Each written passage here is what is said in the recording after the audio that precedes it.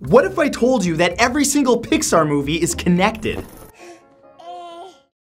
Since Toy Story came out on November 22, 1995, Pixar has released over 17 animated movies, all with seemingly straightforward plots. But a number of theories have begun popping up about these films, each diving deeper into the true meanings of the film. There's even one earth-shattering, unifying theory that claims that every movie is connected. Get ready to look at some of your favorite movies very differently, because here are 10 Pixar movie theories that will blow your mind.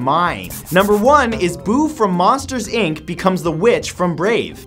Our first theory involves a crossover between two seemingly different films that you wouldn't expect to be connected, mostly because they take place in completely different places and points in history with completely different characters.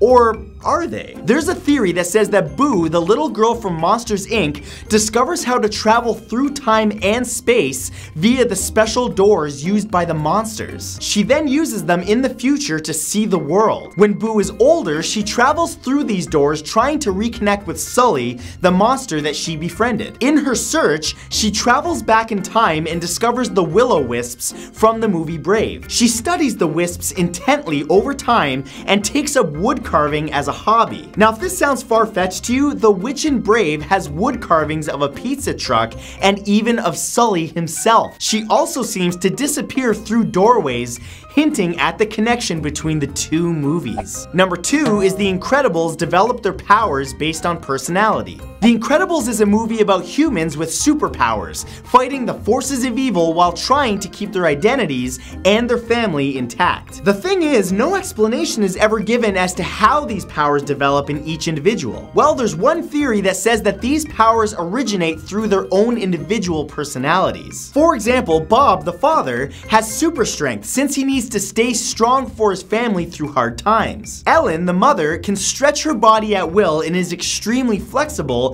as she has to take care of three kids. Violet is a shy teenage girl who can turn invisible, and Dash is a young hyperactive boy with super speed. But the biggest clue or piece of evidence supporting this theory comes from Jack Jack, the little baby of the family. See, Jack Jack has not yet developed his personality, which is why he possesses such a large and uncontrollable range of superpowers like teleportation, transformation, and laser beam eyes. Number three is Riley from Inside Out is adopted. Most of the Pixar films promote wholesome family togetherness and structure, and 2015's Inside Out is no exception, except that the family may not actually be related. In the movie, the main character Riley Anderson is introduced to us as a newborn baby, but certain pieces of evidence suggest that she may have actually been adopted by her parents right after her birth. For instance, both her parents possess brown hair and brown eyes, while Riley has blonde hair and blue eyes. The genetics involved in something like that are very likely to produce a child with those traits. In real life, there would only be about a 6% chance of her receiving those traits from her supposed parents. Later in the film, 11-year-old Riley's mind shows us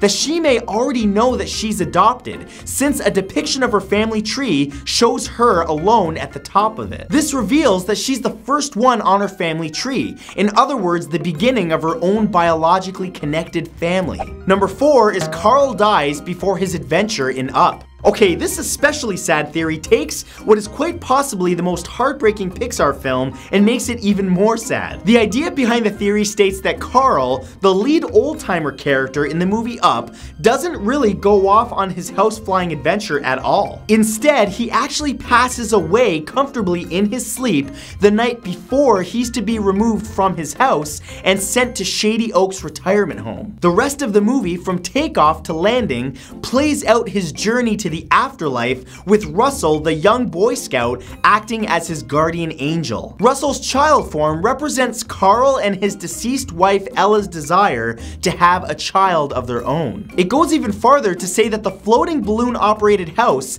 indicates his spirit's ascension from Earth and the magical land of Paradise Falls serves as heaven itself. And the house that he refuses to leave further symbolizes Carl's attachment to the physical world, which isn't necessary in the end as he finally finds heaven. Number 5 is Randy from Monsters Inc. scares Andy from Toy Story.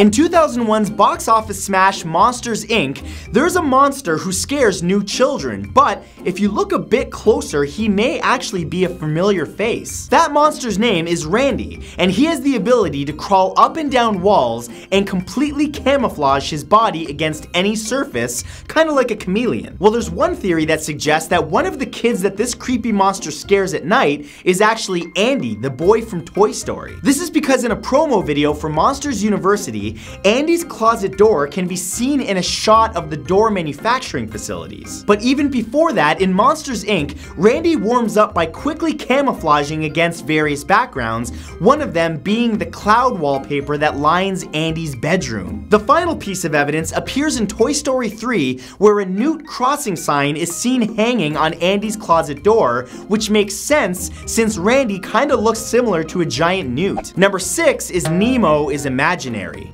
Oh, you thought Finding Nemo pulled on your heartstrings before? Yeah, well, it gets sadder. There's a dark fan theory that says that Nemo did not actually survive the Barracuda attack at the beginning of the movie, and that Marlin, Nemo's father, is only imagining him in his mind, a hallucination in order to cope with the loss of his wife and child. Evidence for this can be found right in the young clownfish's name, as Nemo in Latin literally means no one. The theory goes on to claim that Marlin experiences the five stages of grief throughout the duration of the film, starting with him finding the sole surviving egg, Nemo, in his denial stage. As the story progresses, Marlin becomes overprotective in the anger stage, allows his friends to help him in the bargaining stage, believes that Nemo has died in the despair stage, and finally finds acceptance and learns to let go when he's reunited with his son, or rather imaginary son, which is obviously a coping mechanism at the end of the film. Number 7 is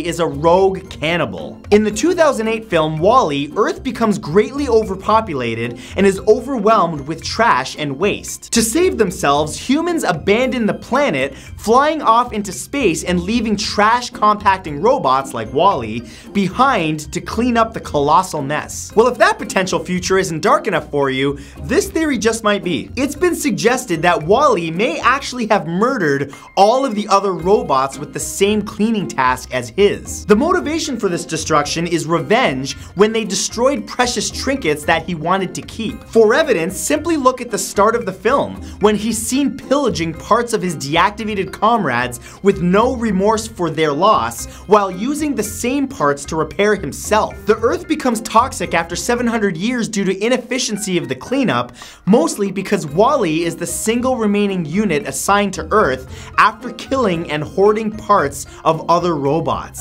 Number 8 is Edna orchestrated Syndrome's death in The Incredibles. Going back to the 2004 film The Incredibles, a character named Edna Mode acts as a superhero advisor and costume specialist, designing the clothing for superheroes and supporting the super family. However, there's evidence that suggests that she may actually be the hero of this movie by single-handedly and covertly defeating the main villain Syndrome. In the past, Edna's suit design was responsible for the death of a teenage superhero, which became the catalyst catalyst for humans banning the use of superpowers. The death was classified as a suit malfunction due to her cape getting caught in a plane's turbine. During the film, Edna gives an incredibly detailed explanation of Syndrome's suit, details that only the designer should possess, meaning that she may have been commissioned by him to create it. Believing that Syndrome may have had bad intentions, Edna sabotages the suit's design by including a cape. As a result, Syndrome meets his demise when his cape gets sucked into a turbine. Whew, these ones are getting deeper and deeper. So let us continue. Number 9 is Emily becomes Andy's mom in Toy Story 2. In Toy Story 2, the cowgirl Jessie tells Woody that she too once had another owner,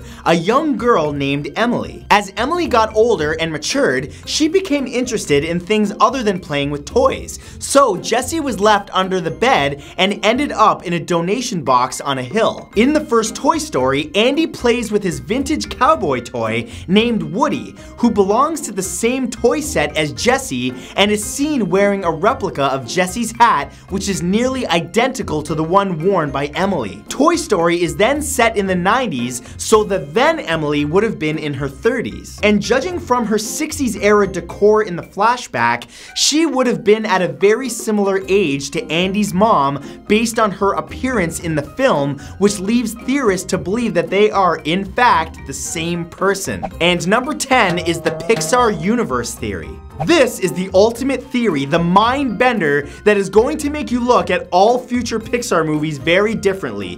One that connects all of the Pixar movies into one universe. The Pixar universe theory starts with the magical Will-O-the-Wisps in the movie Brave affecting animals and giving inanimate objects life. This magic also leads to the advancement of technology like artificial intelligence and zero-point energy like in The Incredibles, and was incorporated into objects objects like the toys in Toy Story, or land and air vehicles like in Cars and planes, making them sentient. The theory charts the growth of a company named B&L, which takes over the world and eventually evacuates humanity from Earth due to pollution, leaving the sentient machines, cars, and robots behind to take care of the planet. Humans eventually return to Earth during Wall-E and A Bug's Life, but mutate into monsters due to the radiation. The monsters travel back in time through through magical doors to collect power from humans in Monsters Incorporated. And there it is, it's a small Pixar world after all. So, those were 10 Pixar movie theories to blow your mind. So I wanna know, what do you guys think of these theories? Do they hold merit or are they just a little too far out there? Leave your response in the comments because I'll be reading through them and I'm going to pin the best comment to the top. But as always, thank you guys so much for coming by today. Remember to come back tomorrow and every weekday at 3 p.m. Eastern Standard Time because I'll have a brand new video for you. I'll see you then.